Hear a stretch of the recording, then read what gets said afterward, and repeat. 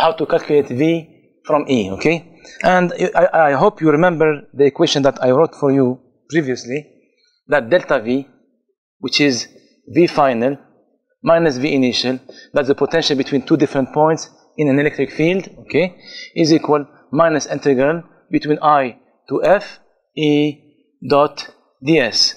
So this is a this is the equation that you have to use to calculate V from E. So you are given E and you do the integration to find the potential. You can always use one of the potential uh, VI as your reference. So if you use use VI as your reference, okay, and, and set it to zero, okay, VI equal to zero, then V final will be V, okay. So V final will be your V, which is equal to minus integral between I and F, E dot ds, okay? Uh, using, don't forget that you are using your VI as your reference. So that's how you calculate the potential from the electric field, okay? Now, let me apply this concept to uh, how to calculate the potential for a, a point charge. For electric potential, electric potential for a point charge. For a a point charge. We have seen this before, but I just want to uh, show it to you point charge in a, a different way. Yeah? Remember uh, the way we defined. Uh, remember the way we defined uh, V. It was U over Q, right? Okay, V at point P, if you remember, it was uh, K Q over R. I'm going to show you again how to find this by using by using this this concept here the calculating V from E, okay? So we start from this equation here, okay? Delta V minus integral of E dot ds, okay? All right? Minus integral between, uh, so I'm going to, of course, uh, I have to draw, before I do this, I'm going to go from, uh, I have a charge here, plus Q, for example, and I'm going to go from a point P I'm going, I'm coming from to infinity, okay? To infinity. All right? To infinity. So I'm, and I'm going to calculate uh, delta V here. So my, my charge Q, uh, my charge Q is going to produce an electric field here, and that electric field is very well known. I know it, and I'm going to therefore do my integration. I'm moving in this direction, okay? I'm going to infinity. And this is my electric field is here like this. And this is my ds. Okay? So I'm moving along this line from point P to infinity. Okay? And I want to calculate the potential at point P. So my uh, V final minus V initial. So this will be at infinity, V at infinity. And this will be V at point P, okay? That's how we are defining. My final will be when, when, when, when I am here, there's no other charge. This is the only charge which is available. Now, I, so I'm moving here, okay? From V at point P to V at infinity. And we know that V at infinity is, uh, let's calculate. Let's, let's, do the calculation here, okay? This is equal minus integral. Of, of course, I'm going to, from P to infinity. At, I mean R here, okay? At point P, the distance here is R, okay? I'm going from R to infinity. And what is the electric field at that point due to this charge? is k q over r squared dr, okay? All right? That's, that's the integral of EDS. I am replacing ds by dr, okay? My ds is the same as dr. I can write it like this. It doesn't matter, okay? And the electric field, and the angle between them is what? Is cosine 0, which is 1, okay? There's a cosine here, 0, which is 1, okay? All right.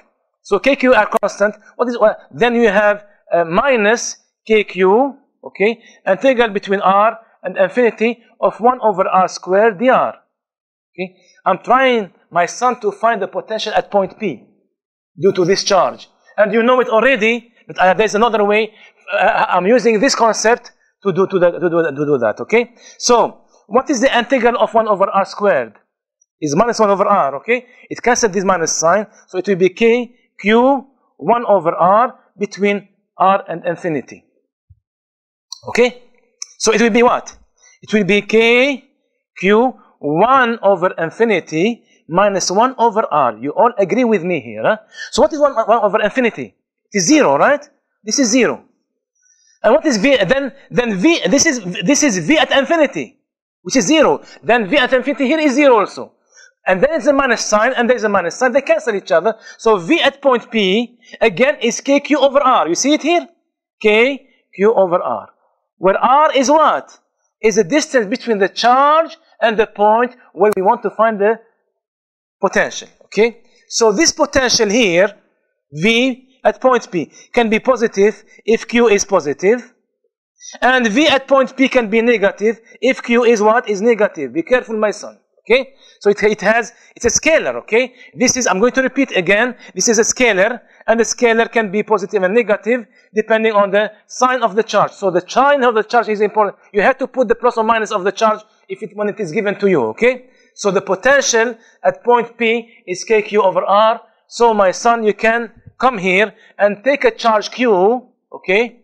And tell me what is the potential here at the distance R. The potential at this point is KQ over R at point P. If I go to, I put here R1, if I go to a point here, another point here, R2, uh, uh, a point P, and then V, uh, v at point, this will be K, Q over R2. You see that?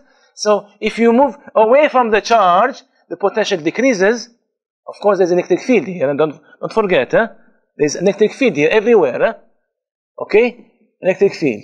So as you move away from a positive charge, the potential decreases because R increase. As you move closer to, to the charge, the potential uh, increases because R is going to decrease. As you move the, as you make the charge larger, the potential increase. As you make it smaller, the potential decrease. And remember that this is, the units of this is what?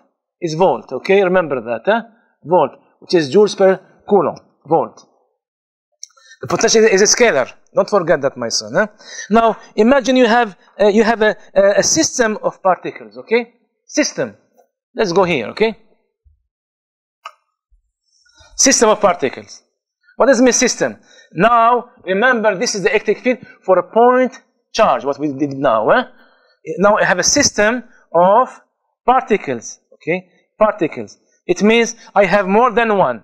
Maybe two, three, four, five charges, I don't know. So uh, uh, I have a charge here, I call it Q1, another charge here Q2, another charge here Q3, and another charge here Q4, etc. Okay, and then I want the potential at this point P. Okay, there's one point, one point P here, and I want the potential at that point. So I need to know the distances.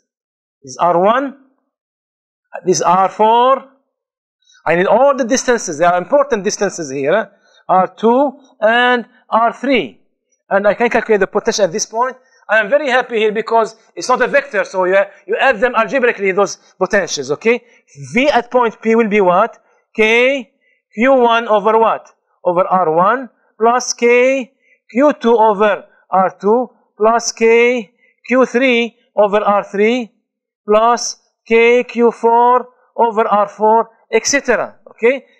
I don't know how many charges you have. If you have two, three, four charges, you have to add them algebraically. Be careful, my son. You have to take the sign of the charge here. Eh? If the charge is positive, you put the positive. If the charge is negative, it will be negative. And VP will be either positive or negative depending on the calculations. So this is how you calculate the potential, uh, electric potential at any point due to a, a charge distribution, uh, system of particles, okay? Q1, Q2, Q3, Q4, and so on. Thank you.